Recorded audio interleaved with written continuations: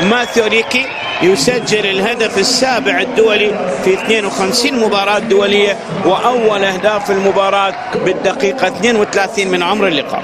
بالدقيقة 32 ماثيوليكي يسجل أول أهداف المباراة بالدقيقة 32 من عمر اللقاء.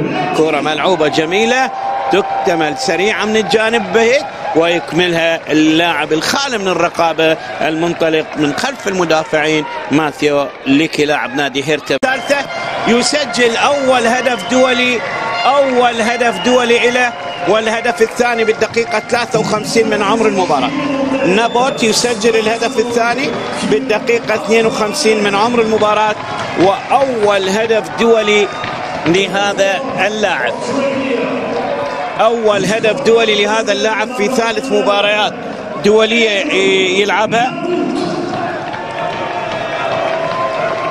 أول هدف دولي في ثالث مباراة دولية يلعبها هذا اللاعب في شباك جمهورية تشيك بالدقيقة 52 من عمر المباراة. أندريو نابوت بعد أن سجل في شباك كندا بنغلاديش اليونان العراق الإمارات تايلاند اليوم يسجل هدفين في شباك تشيك.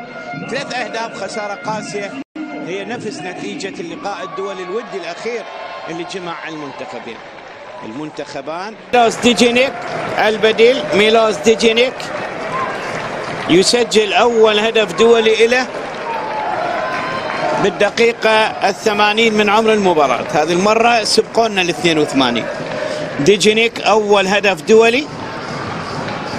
يسجله ميلوس ديجينيك أول هدف دولي يسجله شوف الكرة ارتطمت بالمدافع وغيرت مجراها وبالتالي أول هدف دولي لهذا اللاعب ديجينيك يسجله في مشواره.